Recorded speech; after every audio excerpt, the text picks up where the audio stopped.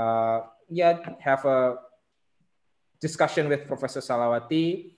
Professor Salawati, time is yours. Okay, thank you very much. Um, I think uh, this is a very interesting topic. Uh, despite we only have about 15, 17 students, still for me, it's a very interesting topic.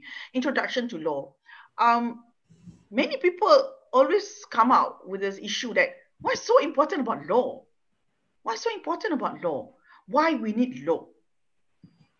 Even even when you when even when you you are born, you already binded with the law. Not even born yet, you already bonded with that. You know, uh, I would like to to give um example in in my country how law is play a very very significant uh, to human being yeah okay for example if you are having a wedlock child for example you committed adultery and you're not married. I do believe that the situation may be different in indonesia but in malaysia if you're muslim if you're a muslim you're going to have a very terrible situation. Why? Because you are not married and when you are not married you cannot uh, at the period you cannot register the baby only after the NGOs was telling that what's wrong with the baby. Whoever committed the thing is the parents, you see, and why blame the babies? So after all the hassle at the parliament and all that, okay, we allow the baby to register uh, the birth registration and get the citizenship, but the column of the father is empty because the parents are not married. It's a very tremendous consequences in the future because you know eastern people love gossiping. Like when the teacher at school despite they have to um have to uh, not to talk about this thing to others they, they tend to do that. They say uh-huh this kid's illegitimate child blah blah blah blah. So that is the stigma that the kids have to uh, face for the rest of their life just that if you do not register the baby, the baby automatically will not be a Malaysian citizen, despite the parents. So see, I mean, from your you are born, yeah, in a Malaysia, you are being governed by the law to know first of all right to live. Because when you have a right to live, that's why the people will then that's why you have a right to know what is your citizenship. And then and that's why I think all the country like Malaysia, we don't have the dual nationality. So whoever born in Malaysia, yeah, the parents are not Malaysian, they can get the permanent resident but not Malaysian citizen.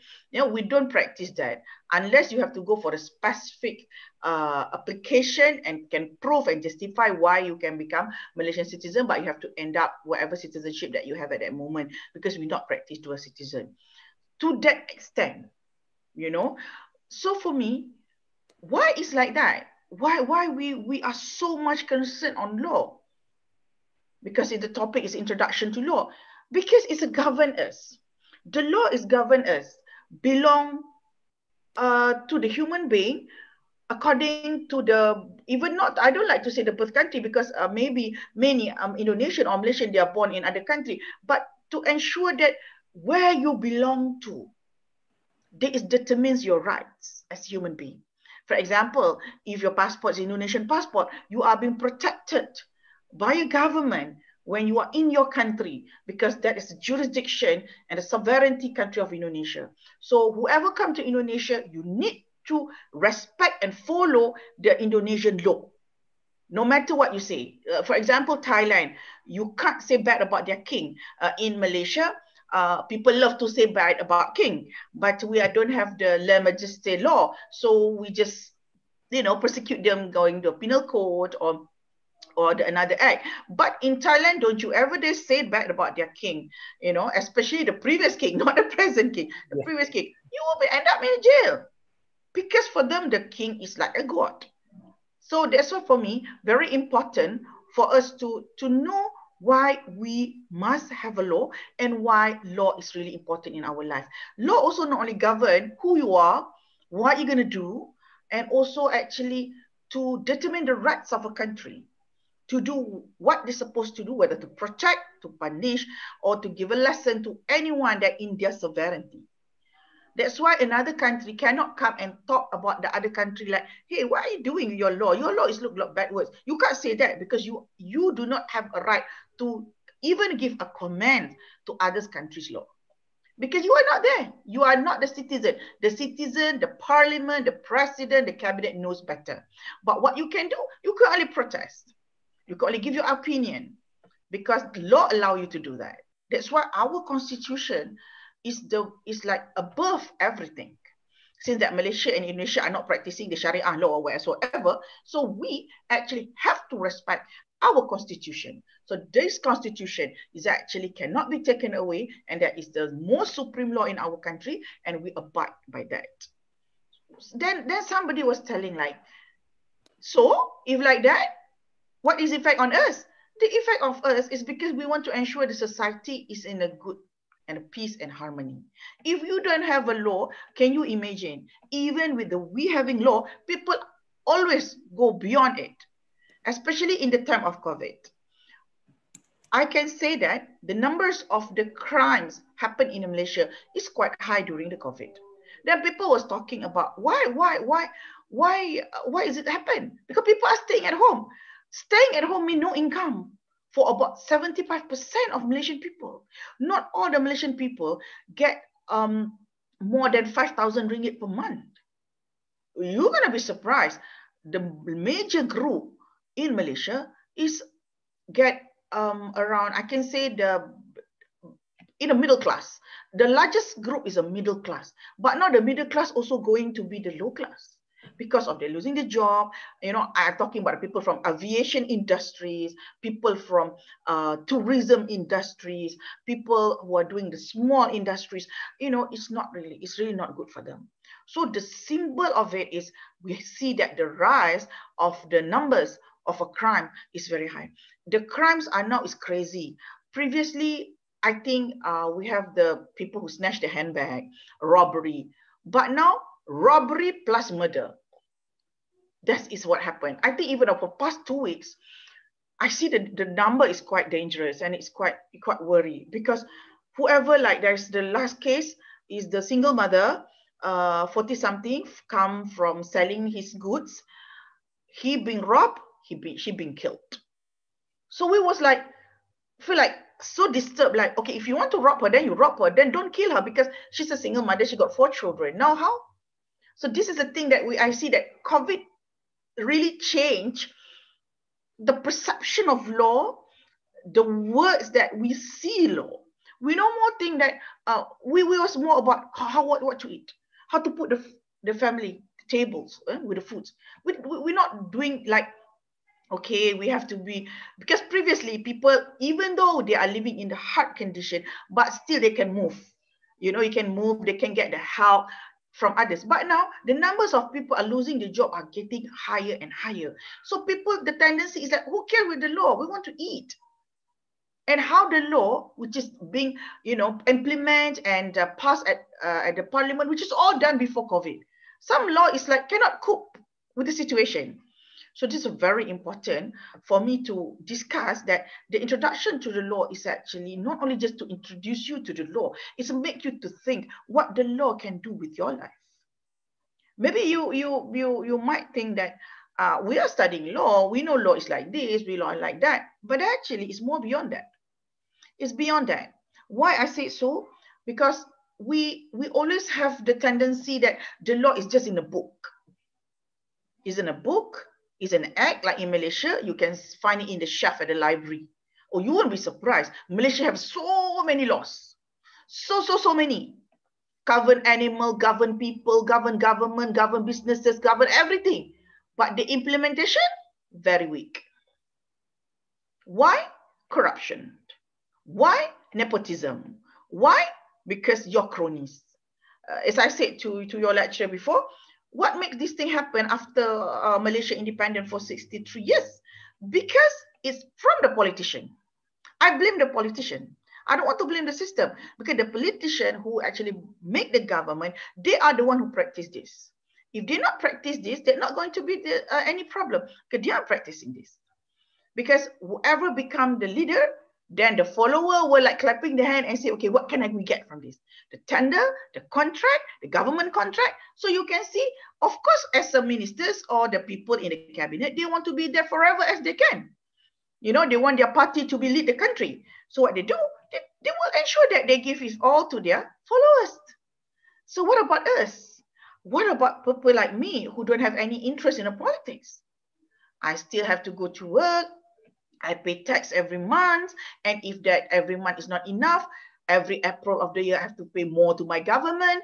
So I feel like, wow, you know, what law is this? You know, people are start to question it, like, what is this? This is what I said. Why we need to know the law? It's not about that. Actually, we have many laws. I believe in Indonesia also, you have many laws, but the implementation that we question. To write a law, to to uh, to have it to be discussed in the parliament or in any uh, bodies in the government, it's, it can be done. But the implementation, who wants to do that? Do you have enough enforcement power to do that? And if you do, can your officer is actually uh, follow the rules or I can say, can they also free from corruption? That's a question. I, I don't want to be um, uh, apologetic by saying that okay students the law is governed you the law super is supposed to be like this your country blah blah. I think that that that's not the the way i have to talk to the law student. The law student is the one who are already understand their society. That's why you be in the faculty of law. You are very special from other faculty without prejudice because we have to uh, determine and define the law for our country after we graduate. And the government must listen to us you know, they must get our opinion before they amend or create any law for the people because they have to look the situation of the uh, situation of the people. What what's law is to do to govern us. But if you do the law which is cannot govern the people or make people life in terrible, then what's law is it? That is not the law. That is more towards the dictator. For example, I take one thing, lah, wearing mask. It's a compulsory in Malaysia in public to wearing mask. But even though you might say, mm, the mask price is 70 cent now, it's very cheap. For the people with money, 17 cent, not, maybe nothing. But for those who are living in the very desperate situation, 70 also is a big deal for them.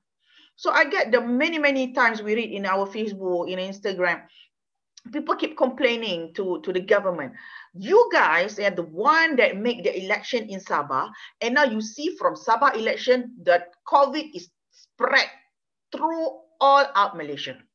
The stupidity of the government is it. Because you are talking about power during this COVID. If you don't have that election, maybe we don't have this kind of situation like, you know, for last week, since last uh, February, uh, since last Saturday, lockdown the whole Malaysia except the three states at the northern and east coast. What's the point? You make our life more, more dangerous. You make like we are more stressful. Because why? If me, I have a job, I still have my salary every month, I feel it, I feel stressed. I feel stressed because I have to be at home and I have to look at my children online study and my children keep feeling that they cannot stay at home. They want to go out, but I cannot go out because if you go out, there is a roadblock of the police. And if you are more than two person, which is just only to buy your uh, things or your goods, they will uh, compound you 1,000 ringgit per person. I'm not going to take that things. And this is what they're doing. They go to the market. Sometimes you see them, the small seller and all that. They don't have money. So they don't wearing this, the, the mask. Then what happened is they compound that people with 1,000 ringgit Malaysia. So all the people say, why don't you use your brain? This is a time of desperate of all the people. Why don't you just advise first? Say, Pakcik, okay, uncle, would you like to wearing the mask? Or you must provide the mask, the people say. You don't do that. What the government are doing? So you can see that the people are talking about government must show the practicality of the law. Don't put blame on the people. You must do it first. And then when we are angry, we see many of our state representative or ministers even come back from overseas. They don't go for quarantine. And they say, it's okay. Uh, I, I give four salary. I, I, as, as a feel sorry for it, I give my four salary every four months to all of you. I, I was like, what the stupidity that he tried to tell us? Law is a law and need to be done and you don't want to go quarantine you should be punished for that under the act of a disease but he doesn't want to because he was thinking about uh, okay i'm so sorry i give my salary uh, my four month salary to the government to, to say sorry And then at the opposition representative also so stupid. I have a birthday party with my friend at the beach, which is huge group, and a no mask, no nothing. So what can I say? When you have the representative are stupid like this, you don't respect the law, and you expect us to respect the law. This is what I think. What you want to introduce, what you want to show. That actually the introduction to law is actually to ensure that the government having a good law for the people to maintain peace and harmony. That's how is it. That's for me. I I was like, I feel myself like very bad, very, very bad in the situation. You don't even have any, um, you not even have any humanity, uh, or we call it uh, like manusiawi, to look on other human being. Can I ask any one of you, do you want this COVID or not? Have you ever crossed your mind that this COVID come to us in 2020? You know that I have a lots of things to do, especially end of the year. One of it is to go to your university. It's, it's already on my plan because my, my two days uh, visit at Semarang last year is not enough. So I, I was like, feel that, oh, okay, I need to, I need to go again. And I plan it nicely. I said, okay, why not? You know, November, I'll come there. But you see, we are meeting you just online. Why? Because people people never thought this. You know, please, because I think this is this is the thing that I feel like people don't don't want people never thought i supposed to also not only in Semarang at this time i was supposed to be in vietnam last week to present my paper all gone of course if i said to you you know i want to see you face to face because i want to tell you how is law is supposed to but the point is the problem that we face is if the government fail to portray what law is all about, if the ministers fail to portray to us, so what's the point to having law? That's why the normal people say, you want what? You want you want to see that? Okay, I read. I I want to to tell you that last week we uh we finished the the visibility study and also uh people um uh, having this particip participate in the who's actually the most corrupt in Malaysia. Number one is police officer. Number one is police officer. Police officer. And this is the things that uh, I think that I'm not surprised. First is a police officer in Malaysia. Second is the uh, the uh, the people who doing the enforcement, not not not not necessarily not necessarily police, like immigration, custom, where they can take where they can take um, uh, money from the customers or the people that dealing with them. Third is um, lawyers or magistrate or judges. See this? Uh, or uh, Attorney General Chambers, I mean, the DPP, Deputy Public Prosecutors, Judge, Magistrate is number three. And then four is a politician. So for me, uh, what's so surprised about it is all the people who are supposed to uphold the law, they are the one who corrupt the law. This is in Malaysia. This is this is this is the last week they, they, they, they come out with that diagram. How many percent? You know, police officers or police is about 57%. So please, please, this is a thing. This, this is this is something that I think that you know uh, it's not it's supposed not to to to to be happen because police is supposed that that's why I'm not surprised because even my child can say that when the police is like in the situation in Malaysia that normally police will, will go at the highway and when they say this is somebody that they can attack or foreigners, then it will stop them. Then they say, okay, what is your passport? What is your ID? What is your license? Blah, blah, blah, blah. And then they will try to create, uh, whatever you, you bring the wrong things in your car. What wrong things? You know, sometimes they say, hey, just now that I saw you using the handphone, even though you don't do that. So you, you don't want a problem with them. You want to go to your destination. So how much you want and I'd say, okay, 30 ringgit, 40 ringgit, 50 ringgit. It's happened once to me. It's happened once to me. Um, I was uh, I was driving uh, the area of a compound of my house, want to go to my university, and that area is like a little bit healed. And then suddenly, I, I about five minutes I drive. Suddenly, I there is a roadblock, and they say, okay, your car. You know, they, they show my car have to stop. I said, what's the problem? I want to go to my university, and then they say, oh, I saw you using your phone. Then I was like, Huh? What the hell are you talking about? Using my phone? I don't using my phone. My brother beside me, yes. He's using his phone because he's not driving, but I'm driving. And the police say, no, no, you are the one. I said, me? Hey, look at my phone. My phone is my in my handbag. Oh, I'm very superb then. I can drive it and then put back in my handbag. And I was like, I said, no, I'm not doing this. He said, yeah, no, no. My friend so show that, uh, show to me you did. I said, where's your friends? Oh, my friend is on top of the hill. Okay, ask him to come down. I said, show to me any videos that he can record that are using my phone. Suddenly we found out there's no friends on the top of the hill. It's only he himself. He just like pick up the car wherever they want. Okay, please, please, please. So what's what is this? Then I say, what do you want actually? If you want, you think I want to give you a bribe? No, no, no. I'm not giving even single cent from my hard work to you. I say, you want to you want to put me uh, uh, a summon? Please put me. I bring it to court. I fight it. I want the evidence it. I I using the phone because he knows that I'm not, and he's so surprised that I'm not want to give to him a money. Then he say, okay, okay, go, go, go. This just happened to me. I was like, what the hell are you talking here? I mean, you want to tell the young generation, oh, my young generation, you have to respect the law. You have to do this. But you yourself never use that things.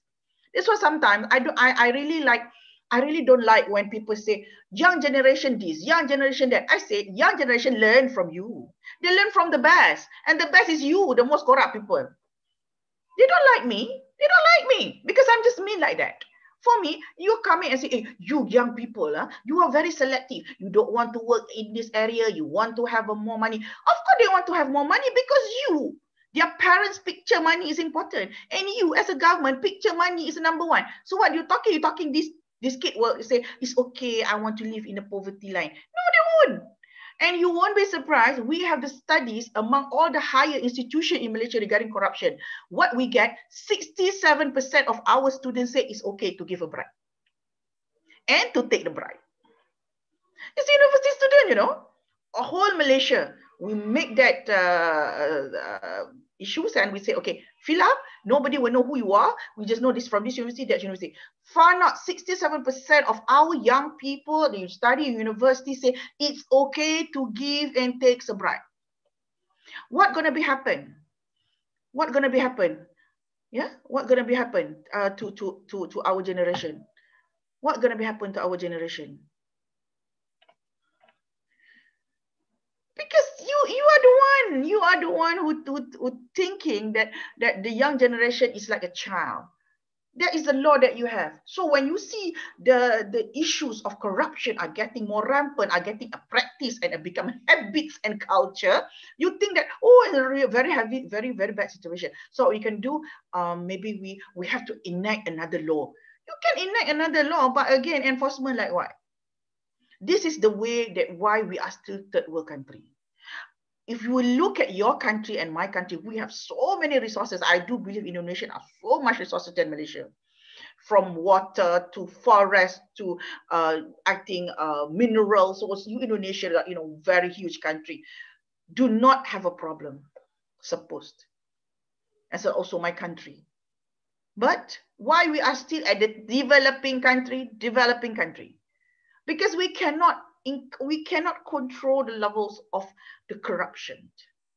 And who hold the people is the politics. And what the politics can do the politics can suddenly turn be another way around to fulfill the satisfaction for the people in the politics. I take a very simple somehow rather we are questioned.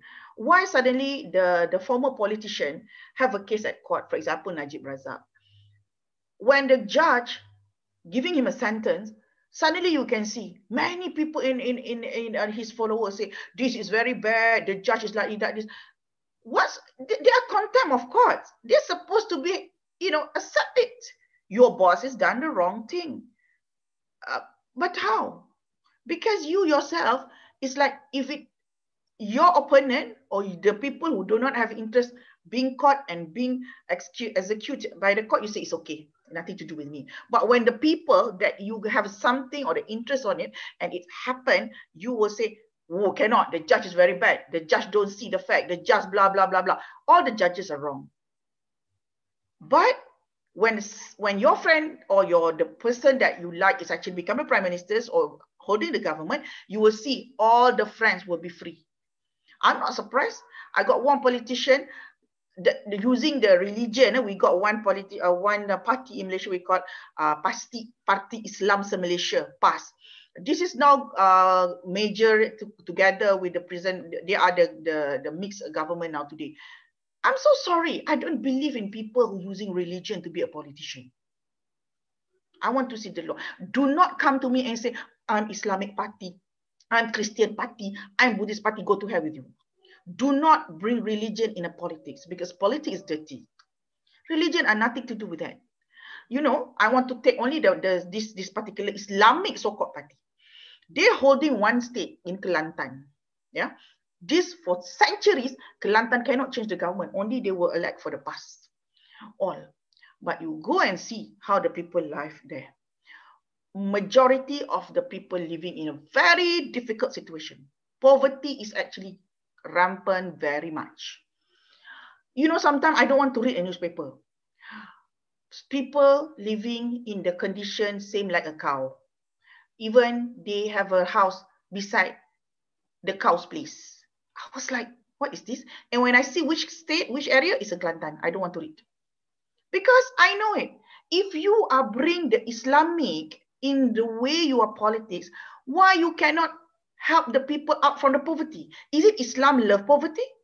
What the Prophet said. You know, what is the time of Khalifah Abdul Aziz?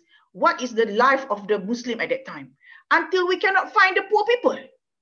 We don't know how to bring the zakat because everyone is rich. Then, lately, they make me really, my, my, my blood temperature is so high. They said, okay, since that we're doing well in that state, we need to increase our salary. I don't know what words that I want to say to these people. And with all the, you know, the scarf and feel that, oh, subhanallah, oh, Allah Akbar. I said this is the most bullshit ever I can see. And all my friends that's make a joke. That's why I said, why, why, why, why are you using, using illegal things to legalize illegal things? In this COVID, people needs money. Why don't you cut your salary, your enough salary, your high salary, a politician in Malaysia having a high salary, why don't you cut it and, and, and make a one fund for your people? You know who actually applauds and respect the law? He's one figure. He is, we call it Ustad Ebit Lew. Uh, he's a Chinese convert. This, this is, this is a, he, he's a, he's a millionaire. You know what? When we pack him, say, Ustad, look, this is a people need help. Tomorrow he went Tomorrow he went for the area. In Sabah, the lockdown is almost one month, two months now. People don't get the job. You know, Sabah is also one of the poor state in Malaysia. He fly two jets, two big aeroplane with 100 tons of rice flour from, from Kuala Lumpur to Sabah.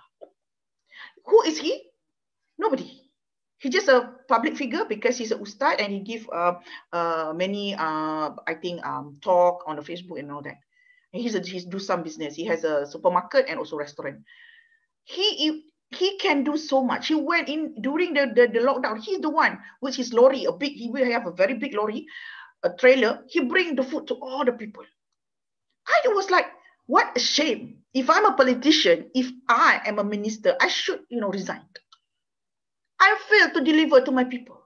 That's why for me, what should I talk about introduction to law to the law student who know already, you know, the, the, the supreme of law of each country. But I want to bring my student and bring all of you to another dimension, another step, another level for you to be a much better than other friend from other faculty. This is a level that we need to argue. This is the level where we need to look our government. Are they doing well?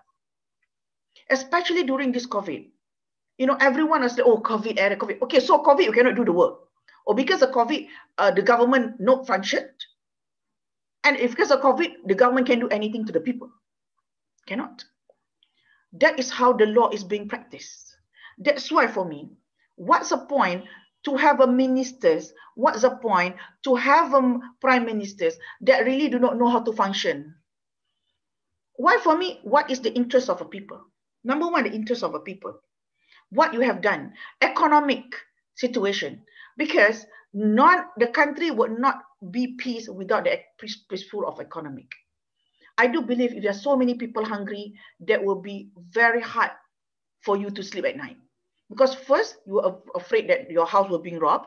Second, you cannot, you feel bad because you can see so many poor people. Now, if I go out, I can see so many poor people at bank. I have to say, it is a scenario in my country. I just go to the bank, you know, sometimes just just just to have a certain transaction.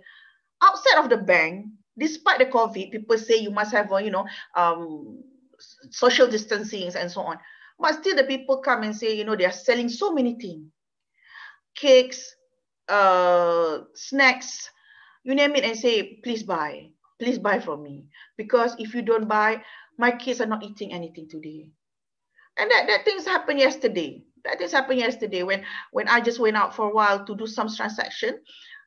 Then I out from the bank, there is a handicapped man, bring three chocolates, cakes, and say, uh, can you buy from me? I only have left three chocolates cakes. I give you uh, one normally 30 ringgit, but if you take all, I just give you 20 ringgit and I, I, I, I give the one for free. What a shame for me, who still have a salary, to take all his cake without paying, even though he said he want to give me one free. I know his condition. So I just, I say, okay, really, uh, I don't know whether the chocolate cake is nice or not, but I'm more pity on his situation. I take all three, I give some money. And when he said, uh, Kaka, uh, this is so much, you know, I don't think what I give is much because uh, I think uh, I give because of my humanity, not because I'm rich. No, I'm not rich. As long you are academician in Malaysia, you are just okay, not rich. So I, I, uh, no, not rich. You are not a businessman. You're not corrupt. You are not rich. You are just like this. So I give for my, and then when I want to go to my car, suddenly he shouted at back. With this, with this, this is make me feel like my country facing a real problem. And the problem is so real. When he said shouted i said kaka i pray for you. I pray for you. God will help you. God will be, give you more and more so then you can help people like me. It made me like oh okay. I i calm down. I uh, me myself is I'm, I'm i'm very sensitive person. When people in the difficulties i can help. I try to get my best to help. But when the people pray like that suddenly I feel like, what is going on actually in my society? What the law can do? Meaning the law can't do anything. It's we back to one one's level, which is humanity. So are we now talking about humanity control the law or the law that control humanity? For me, humanity should control the law. And the law is not to just punish or to prevent, law actually to give a more peaceful and guidance to the society. That is the law. That's why Lord Denning said in his book that is compulsory for all the first year student in law school in Malaysia to read. Law is a cement and a basic society before you talk anything what is the basic? Like you are baby when you try to stand you try to walk what is the best for you? Your mom will find the best shoes for you. You cannot use your father's shoes because you are start to walk. And there's a special shoes for the kids who started to walk. The soft one the the material is very good. So you can walk stable right? So this is same with us with us because for me this is why we need to to have um, uh, I can say uh, a balance in the society. And what is the law that actually can do that? The law that being governed by the goods and the, and justice prevail. So this is for me. We can't just simply thinking law is just to govern and then punish and then finish. And we will feel like, oh, okay, no problem beside we look also people who make the problem okay i i feel very bad because uh, lately we see many people um, in malaysia when they lost the job and all that they normally go to the zakat center because we have the the the, the zakat center for muslim. Somehow rather zakat also don't have enough money. So they say go back we don't have enough money. But but we question that where is the billion of the zakat every day you collect then they say, oh, no, no, no allocation, no allocation. That's why I don't like people talking religion to me. I'm, I'm hate of it. I, I think um, I'm more, I more go for, for what kind of you, what heart that you have. You know, I don't like when people come to me and say, hey, you must portray yourself as a Muslim, you know. Muslim must be like this, like this, like this. And if does anyone try to tell me like that, I will bash him or her straight away, straight on his nose. I would tell that first of all, I appreciate that people really want to advise me, but please do not try to become a god. God is a God, human being is human being. Why not we have a good heart towards each other? Oh, that's why in Malaysia, people are so like, see, Muslim having dog. Woo! You can make the whole world collapse. Muslim having dog, haram, haram.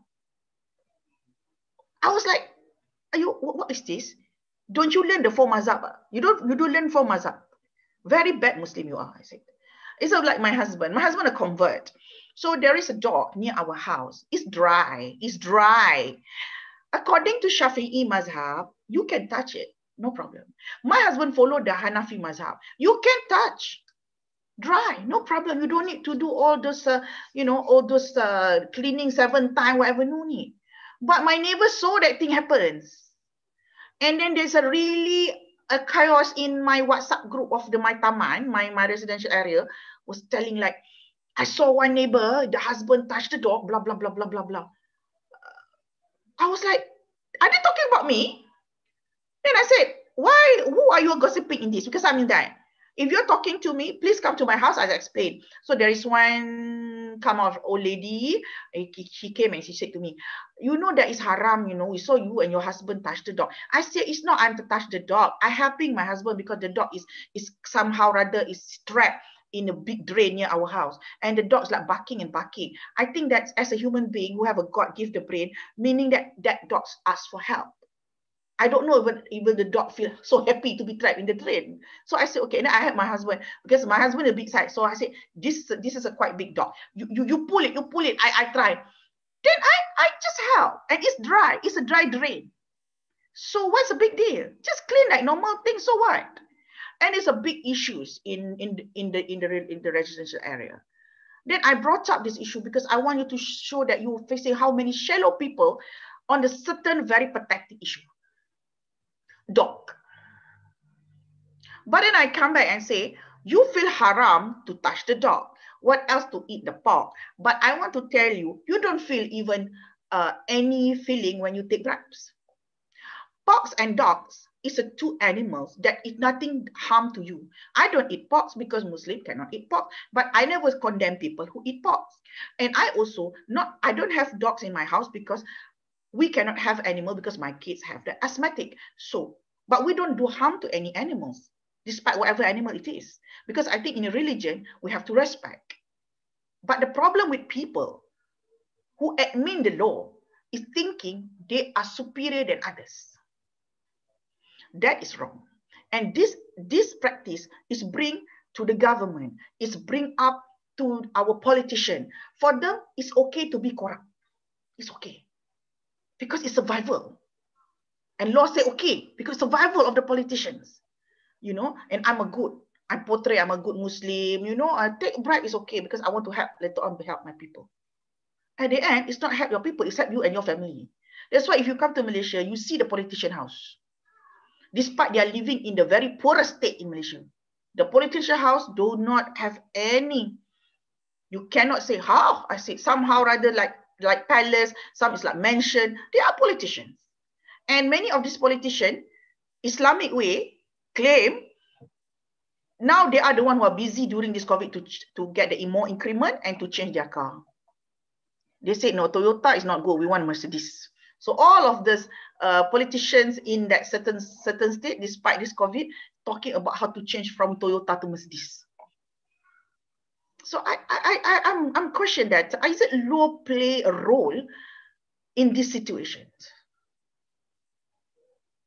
We are running from the normal issue. You know, I open your your your mind to look at certain issue that we're having today and connect it with the law. And I think you should be curious about it because as a law student you'll be practicing law after this are you going to um, losing your principle because you at a law school you say cannot do this. We have to be very clean. We have to do this. But if you join the government or you join any political party that is the practice. And if you don't follow that then they will say you are backwards. You not become their friends because you don't know that taking bribe is a normal and it start to become a culture. So how we want to do it how we want to deal with it. That is the issue. This is why I, I, I bring this issue today because I want the student to look on a different perspective, Do not like typical introduction to law. I don't need, even I don't want to do the slide. Because when I do the slide, the student have intention to look on their handphone. For them, it's like, what is law? Law is like this. I don't need to tell. You are law student. You know it already. Otherwise, you are not in the faculty of law. You want to know something that critical, something that really, you know, agitate yourself. Like, okay, so what? So how, what can we do, doctor? How how we as young generation, you know, can prevent this thing from further, you know, we, we have. So this is the things. That's why I think we we should not look at law as a just govern the people, uh, punish, and be peace and harmony. Law can be questioned, but the practical way is, is it we do it accordingly? That is the best. Second, can we also punish the politicians same like we punish the normal citizen? do not have the any like okay or oh, because you are ministers oh cannot cannot you cannot be punished even though like i said uh, they went to back to they went to abroad they come back they not want to do the quarantine because the quarantine is 14 days oh i'm gonna miss my area so i don't want and then oh, oh when people say you you don't go for quarantine you know you bring covid maybe oh okay okay so sorry for that sorry okay I, I take take my five months of my salary I, I the act is actually for me a bribes. You bribe people by saying, okay, okay, sorry, sorry. Uh, I, okay, I, I give, I take, take, take my, my five month salary.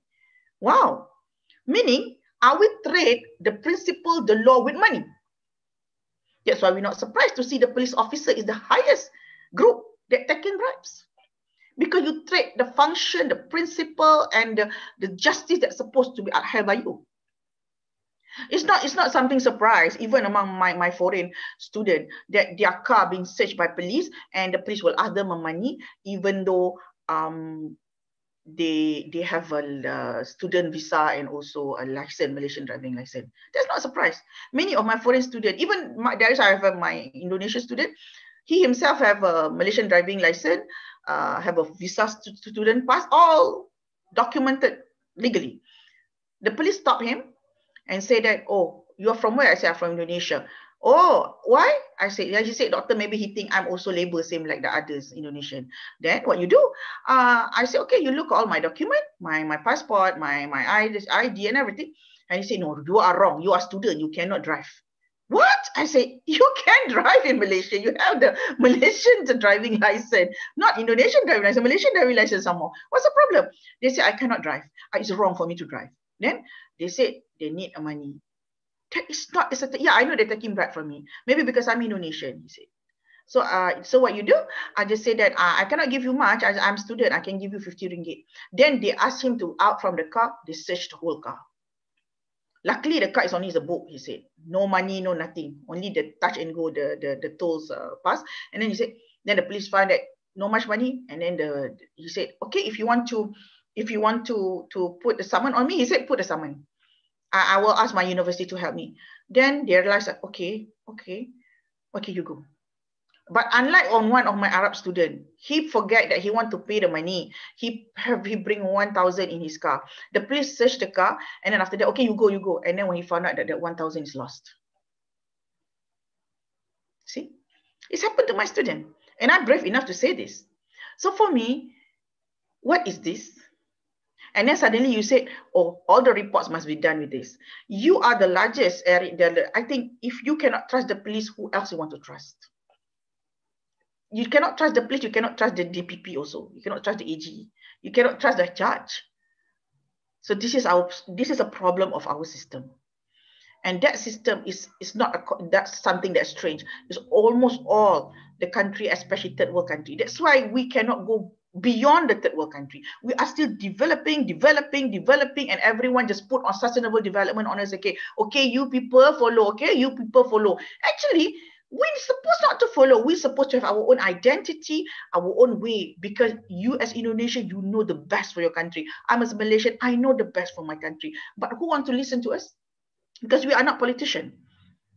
Uh, this is the thing. That's why I think always I say I'm very critical when I want to go for vote very critical. I don't look like, oh, this is opposition, this is government, this is a free. No, I look the candidate. I want to know who is he. If I elect him, can he do the job for us? Not we have to go to him. Can he work for us? Because he being there because of us, because of our vote. So he is our slave. He have to work. But now it's another way around. People are barking and you know to the government. The government say, "Oh, it's okay. It's okay. We'll be fine. Okay, just red door. Yeah, okay. We uh be patient. Be patient. You as a prime minister, you can say that in front of a TV, because when you go back, petrol free, masjid free, uh, your meat free, uh, water bill, electric bill paid by the government. So your salary is freely, fully clean to you. But for me, if I have a maid, I need to pay for the maid. I need to pay for the for the immigrations, uh, the levy, the the insurance. So I until today I don't want to have a maid. And then my house being taxed, my car I have to pay the road tax every every year. Blah blah blah blah. So all tax on the you normal people like me. So we are questioning it. We question it because we want you to know this is what the, the normal people and what else the poor people feel. Even to get one rice, one time to eat, also their struggle.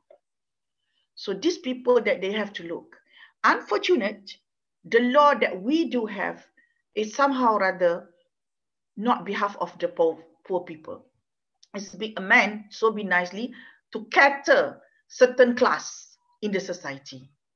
And you always listen that money is king. And I admit that, yes, in the scenario of my country, money is king. Even though you are doing wrong things, but you have lots of money, people will bow to you. Until we, have, we catch about three or four, the Macau scam. You know, they, are people are doing the illegal gambling online and their life is really Maharaja. You know, they, they have their own flight, they have their own uh, private jet, they have their own mansion in Kuala Lumpur, and they are not highly educated. One is just former factory worker, one is just former sales girls, the husband and wife. But their life is more than the king because they are the one who process the all those uh, money laundry. But now, after the police catch them, and uh, the police also don't want to catch them. The police also get the percentage from them. Is the one who catch them is just the anti-corruption agency. Uh, after anti-corruption agency already get these people, then suddenly a police like even the, the the statement from the police are also very soft. Oh, actually, they are not involved in scam. What we say? Not involved in scam? Are you crazy? oh, God must be crazy, I say. But actually, we found out the police also, at the, the high level, police also have a every month get the money from this group. Of course, they will protect. Who want to lose your 100,000, 200,000 ringgit per month? You don't want to lose it, right? So what the best is, you just come up with a stupid statement to ensure that people don't believe it. Actually, people don't really believe it. So we question why police you say this kind of thing. You also get every month, right? So they are suddenly tomorrow morning they make they make another uh, press press conference and say, oh, so sorry, yesterday the journalist is actually uh, wrongly, uh, you know, take the statement. I was like, what a joke that you try to tell us. You know, everybody knows about it. So this is the things I want to tell you that the standard the law and the people. And also our um, our um, i can say our uh, system judiciary system must be clean. Because uh, from i can see judges also not clean. So how come we want to get a justice prevail if the judge is not clean and, and I don't say that uh, only in my country, but also in other country also. So this is the thing that uh, I want you to uh, to get from me today. And I saw there is a few question. Maybe for this half an hour, I can take the question from from all of you. So thank you very much, and I'm I'm waiting for your question.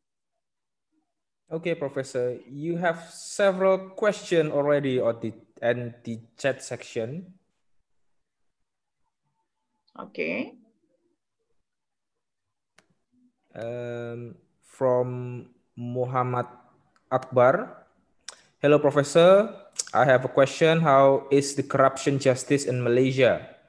And what is the most punishment for the corruptor in Malaysia? Because as we can see in Indonesia, there are so much punishment for the corruptor isn't going well. Thank you, Professor.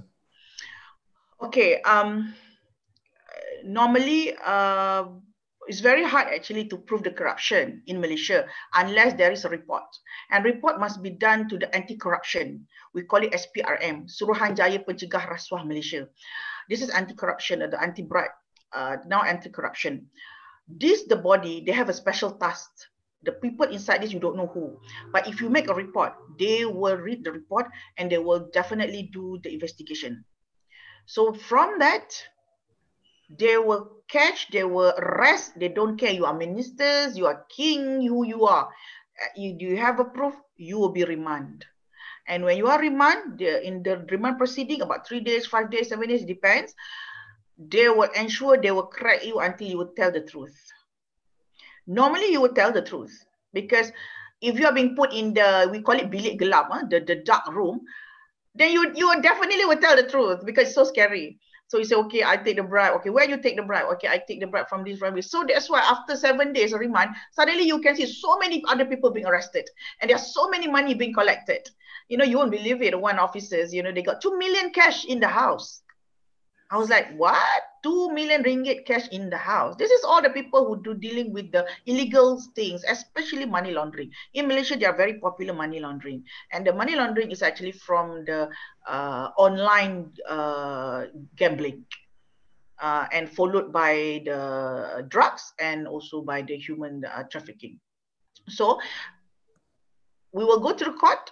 We have the Anti-Corruption uh, Act, and this is where we will execute you or charge you accordingly based on the fact and based on the evidence that they get. And it's very heavy punishment normally because there is no, you can get bail. Bail during your case are being investigated. But if you are already there, we will use POCA. POCA is like uh, the emergency uh, and we use any other law. Previously, we have the ISA, but when ISA is, is, is withdrawn already and obsolete, we uh, replace it with POCA, uh, SOSMA, and the SOSMA is more on the security basis. Like if you are doing the subversive or terrorism, we use that act to prevent you and uh, arrest you. Uh, the the POCA is more on the the crimes, the serious crime, drugs, uh, uh human trafficking. So we have to use all this so this is the group that last week, last two months, they are being arrested. Until today, they are still in this POCA and SOSMA. They cannot be bailed out. They challenged at the court, but the court rejected it because their case are so much. From their case, we got about so many people linked with them. That's why you sometimes you see the celebrity in Malaysia, they are very rich, whether they don't you don't have a film, they don't have a sing. You know, you like, you know, why you are so rich, damn, like that. And we have one uh cosmetic owner. I can see that the cosmetic, I no one buy his cosmetic, but his house, I'm telling you, he just built his I think the one of a chair that he buy is one million. I said, wow, your ass must be very expensive then because you put it on the chair that one million. Then I said, one million chair and it's direct from Europe the ancient time, I guess. So this is like, and I said, who buy your cosmetic? There are so many cosmetic in Malaysia. I don't see that your cosmetic is the number one. Then after the case of the Macau scam being investigated by this uh, corruption agency, he also involved.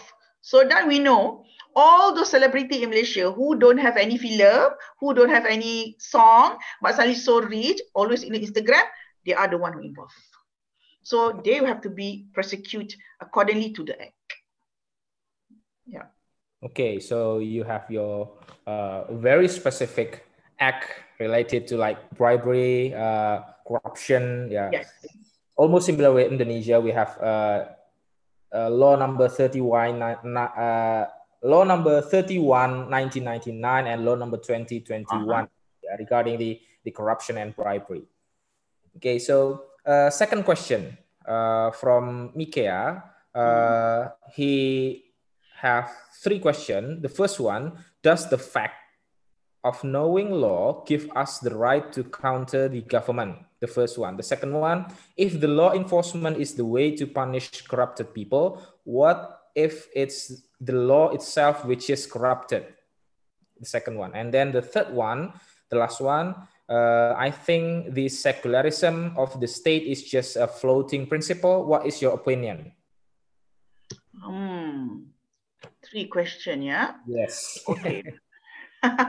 okay, does the fact of knowing law give us the right to counter the government?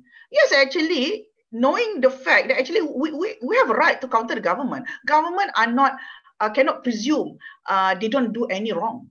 That's why we have, a, that's why in, in, in, in, in the democratic way, we have, uh, like in Malaysia, we have the judiciary, we have the legislative, we have the executive to be balanced. But normally, the executive and legislative is doing by the same people. And the judiciary got the salary from the executive and the legislative. Yeah. And that's why many many people say, I'm not going to bite the hands of my, my boss, you see. I'm not going to. I also want to protect my position. This is what happened. So either you are brave enough, yeah, um, you know, are you brave enough to, to, to counter the government? I think I think in Indonesia you are more brave. Your people are more transparent uh, compared in Malaysia. Because you people is like okay why you question your, your your government not only by you showing that in on the on on on road. You question is also in many channels. You know and I think that the many people is actually uh, knows the thing and they they they are together. The only thing is somehow rather quite disappointed because um we we know that uh, uh, we know that uh, the the people who can be with us but they are choose to quiet because of the position. I met many kind of these people. I think if we know the fact that that we have the right to counter the government we're not against the government. We want to counter them for them to answer and to give the justification why the things happen. But they don't want to do that. For them no i don't want to you know have a problem with government because i want to go for professorship i want to get this i want to get that. So this is what me feel like very disappointed. So actually you have a right yes, you have a right to counter the government. The government are not not God. Yeah, not God. They can be countered and be questioned to give you a justification why they do so. And if the law enforcement is the way to punish corrupted people, what if the law itself which corrupted? Okay, the point that uh, that you want to tell that how you pass the law, which is if the law is corrupted. Actually, the law is not corrupted. The only the application or the people who actually used the law to escape for example, I think um, I, I think the way you can see many many way that the the the law itself you know actually to to fun, punish the people is if you can see that the one MDB when Datuk Sri Najib is the one who uh, gets uh, being prosecuted by by the judge you can see that the the the lawyers who uh, appear for before him I think sometimes they don't know what to say. They're just using the law to look as if the, the law is corrupt. They said, uh, Dato Sri Najib doesn't know that the, the 2.6 billion involved actually transferred to his account. I don't think so. And they said because the Bank Act of Malaysia is not allowed or actually not acknowledge or not tell him that, hello, there's a 2.6 million come to your account. Why you blame the act? The act is very clear, it's for the bank. Now we're talking about your account that from the money that we not know where come from. And you start saying that it's donated by the prince in saudi donated from this from that. I don't know why people love to donate you because you have a rich already. So this is the thing that people uh the the the uh the actually the lawyers they are the one who try to pushing around and and use the law itself you know that's why they study the law not because they want to use the good of it. They just want to say okay uh, we use it against you know against the, the the good people but it's not for us. The problem that i can see is especially when you when you arrested people with corruption normally the lawyers were jumping and say why you? This is a human right. The, the uh, principle our principle in our constitution is like no one can be arrested blah blah blah. You see but actually the, the, the, the, the constitution are not corrupt. The constitution is there. The people, the lawyers who dealing with the words is trying to twist. That's happened. So for me, law, we never have a law for to, to corrupt except in Africa. In Africa, the president is a dictator. The president changed the law without anyone agree with it. Otherwise, you will be killed. And they say, okay, uh, I'm supposed to be um, the president for this country only 10 years. So now I want to amend the constitution. I can be, anyone can be a president as long as they live. Why in during your term? Because you want to be a president for the rest of your life. That's why there are so many uh, coup or so many uh, civil war happening in Africa because you yourself using a corrupt law to create by yourself to ensure your position.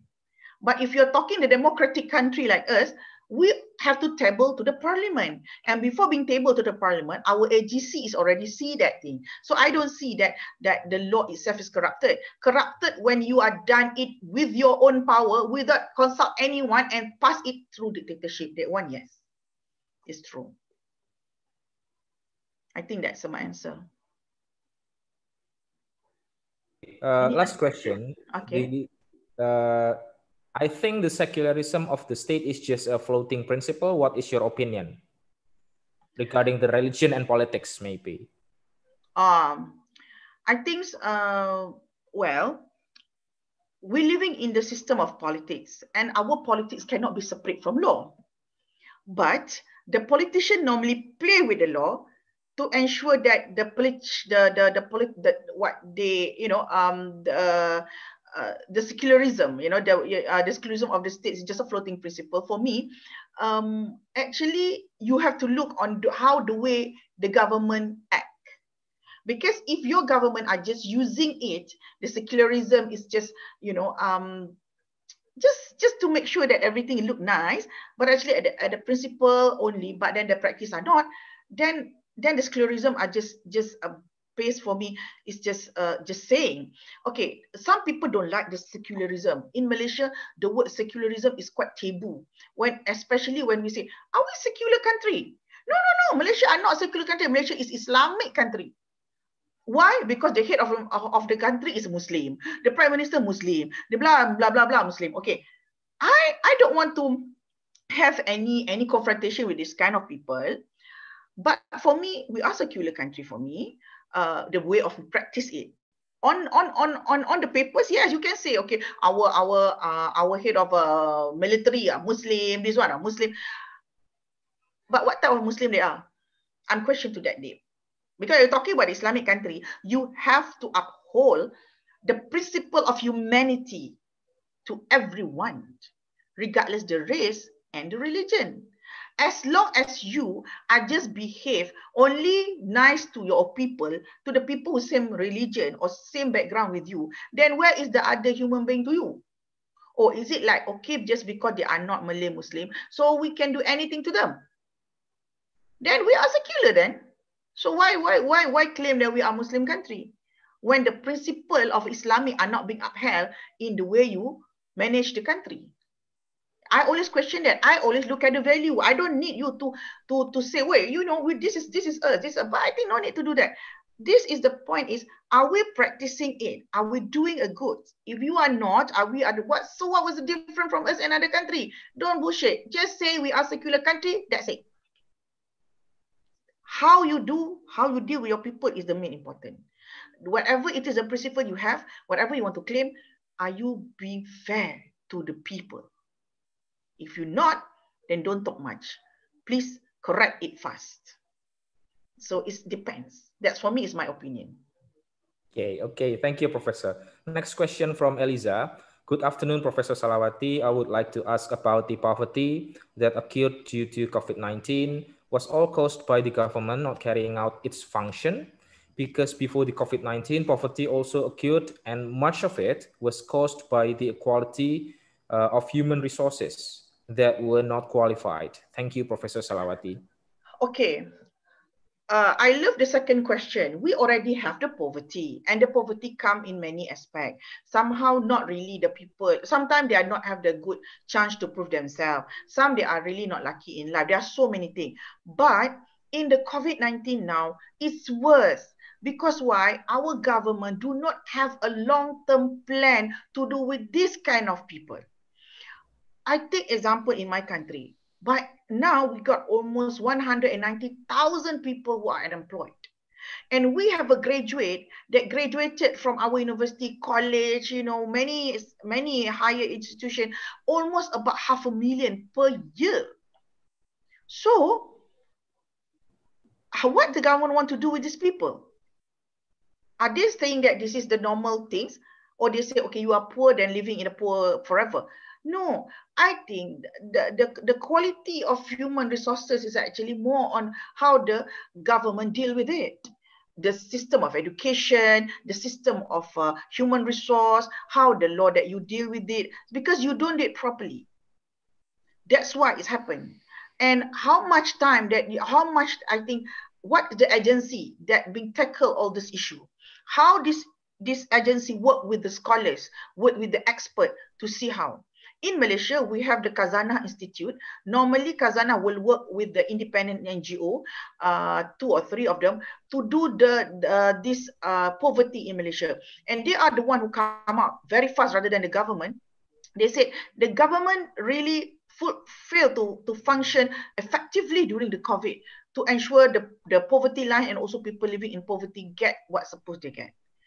You know, now I can say to you, government cannot increase many of the monthly allowance for the poor people, they are still maintain 300 ringgit, 250 ringgit, which is for me is, is nothing. For the today's life in Malaysia is nothing. What can they do? If you want to buy the 10 kilo rice, also the good one is already 60 ringgit Malaysia unless you buy the low class rice which is you know the mixed one that is 17 ringgit. How long you can eat like that? How long we want to give the poor the people in living in poverty um eating that kind of foods? Because when they eat not good food they are tendency to get more illness. And their illness are normally cancer you know the the the kidney problem which is need a lots of money and they don't have. So we are double i'm biased to them because of that. Giving a low uh, kind of food and after they're having a sickness and we are talking that they are the burdens of our country. So that's what i say the government must function fully and the government must bring all the scholars and all the people sit down you know okay what's next for our country? The government cannot just thinking like okay scholars you can write and we will look at it and see how. This is what my government doing now. That's why I, I, I think that that's not the, supposed to be. The government must collect all call all those NGOs, all the scholars, sit down. Okay, what do you think about it? The economics things, the social things, the the the uh, the education. This is all. But I think the point is we are no more like before. We cannot simply say, okay, we did well, but the COVID is not, you know, unprepared. Unprepared is always one year. Whether you prepare or not, you have to prepare. How to deal? That's why we have to see. That's why our budget last week, um, many people critiques on certain issues because we have a right to critiques. And that's why for me don't blame on the quality of human resources because it's come back to you as a as a government. You must have that uh, you know standard to put in your country. If singapore can do why not us? I don't blame that say oh singapore is a first world country. So what we can't do that. Singapore doesn't have any resources but they may, they can do it. So we have a lot of resources we cannot do it. Because why? Because we already you know we already normally love to look on what the practice already in the country, not want to go, you know, beyond that.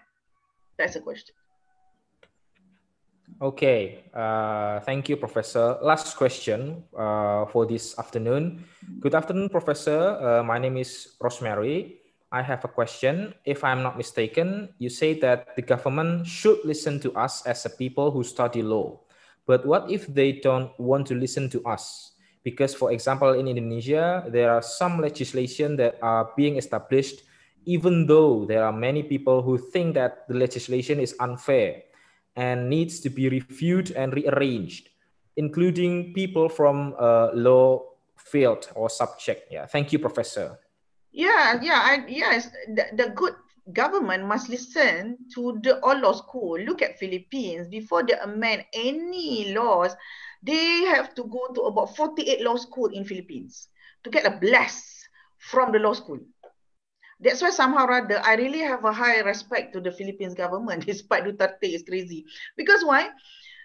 Before they amend anything at the parliament, they consult the all law school, you know, 48 law school. And the law school will have to give their reason whether they are support or not support and why you know justification so all the parliaments uh, in philippines when they uh, pass the law you see no not people angry because it's already been referred to not only AGC, but also to the all the law school. And all the scholars sit down and all the students discuss it. Can we allow this thing? If we not allow, why? If we don't, how? You know, uh, because I have um I have friend with uh, Prof. Ruke, and he now is advisor at the Malacanang. He was telling me that somehow rather he said, why country like Malaysia uh, can only use uh, AGC only?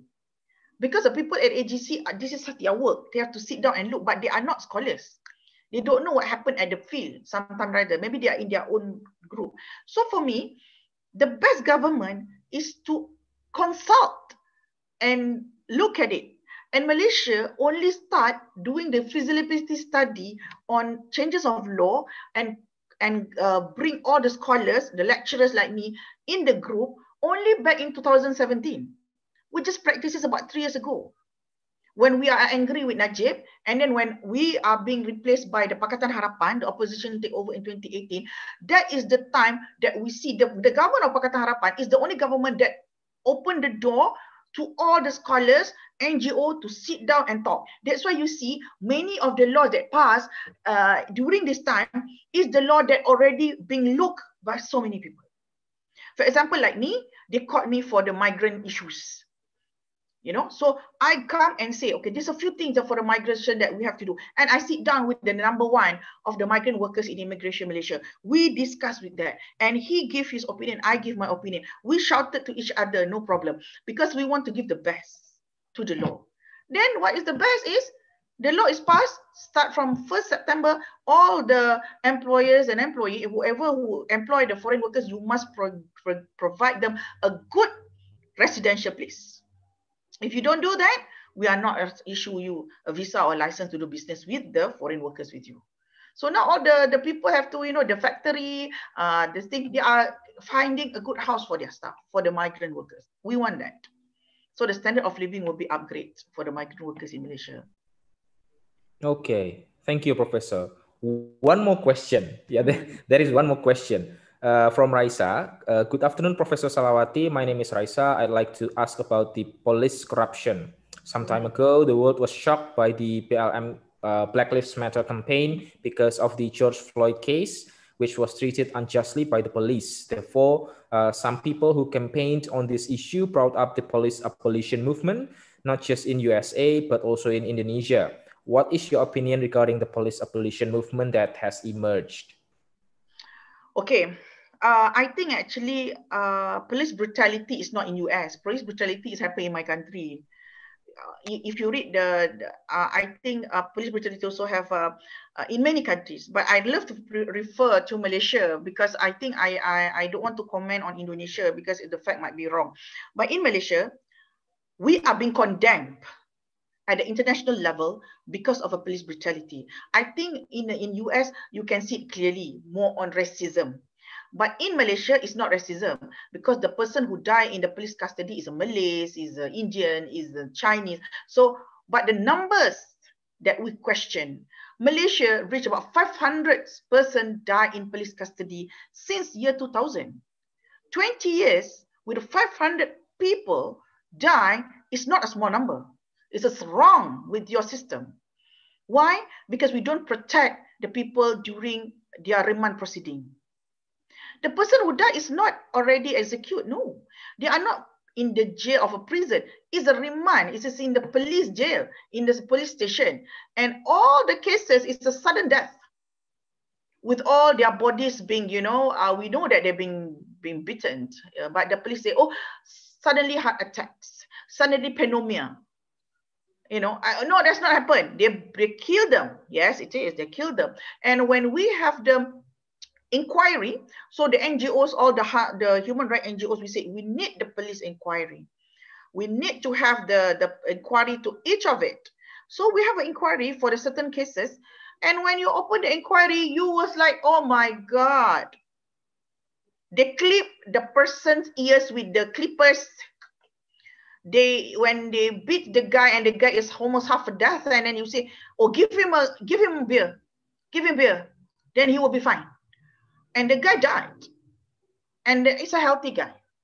So this is what makes me feel that uh, the police abolition movement actually uh, we we need the police to be responsible to their to their job. So in malaysia we acquire there is um, uh, the the body that see the disciplinary of police and hand, how the police handle the the remand proceeding. But the police is like reluctant to do that. Because if they do that, meaning they are being abide to show and to put all the CCTV in all the police station. And they don't want that too. Because if you do that, we know that what time, how many times they beat the, the, the, the, the, the prisoners. So they don't want it. For them, no. Uh, you can you can collect us, you can bring us to the inquiry, but we're not going to do that. And until today, no one, despite we changing the IGP and the IGP say, oh, I will try to do the best to uphold the image of a Malaysian police. That's all bullshit. No, nothing happened. There was only said they reject our demand to put a camera in every uh, prison of remand. They also don't want us to check. They don't want the NGOs to check. They don't want anything. They say, okay, if you're not happy, just inquiry. And we do it like certain cases. But the 500 cases, only two or three go for the inquiry. The three, the 497 never go. So are you talking about justice here? We actually finish. We don't have. Okay, so uh, that is all of the question from the students. Uh, what a wonderful lecture from Professor Salawati. And before we close the session, uh, you may give your closing statement like for one until two minutes, Professor. I think um, I I really put high hope of to all of you that uh, the all of you must uh, I think the all of you must always uphold the principle of law. I know it's not easy, uh, but if you have that, you you will be protected by God and by people around you. And if you die, you die with dignity. Take my words. You die with dignity. Thank you. Thank you, Professor. Thank you. So uh, we've reached the end of this session, and then uh, on behalf of uh, Faculty of Law of our dean, we would like to say thank you, Professor Salawati, for giving us the great lecture for this afternoon. Thank you and uh, Assalamualaikum warahmatullahi wabarakatuh. Terima kasih. Terima kasih, Profesor. Yeah, thank you. capacity